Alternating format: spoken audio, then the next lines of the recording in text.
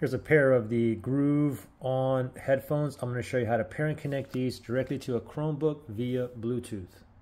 First thing is go to your Bluetooth settings on your Chromebook so you can tap on the little launcher down there. And then bring up all the apps. Or for my case, I'm going to click on this little up arrow.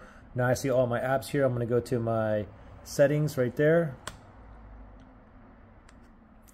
And then from here, I'm going to select Bluetooth Bluetooth is right there. Let me select on Bluetooth.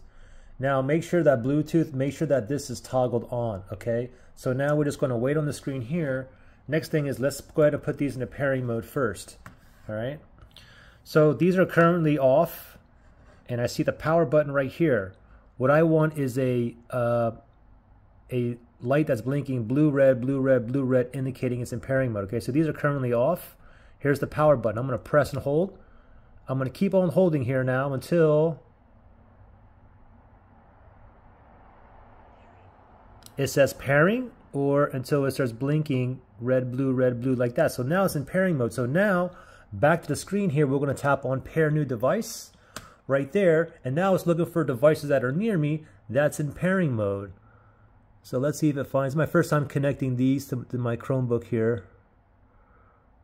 It's still in pairing mode. Oh, there it is. On over the year A and C. That's what they call it, okay?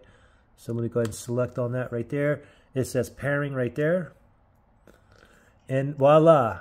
And we are now connected. Now, the thing is, if you guys couldn't connect or you couldn't put it in pairing mode, you had any kind of connection issues, you can always reset these. If you need to reset these, look in the link below. Anyway, right now, I'm all set, ready to go.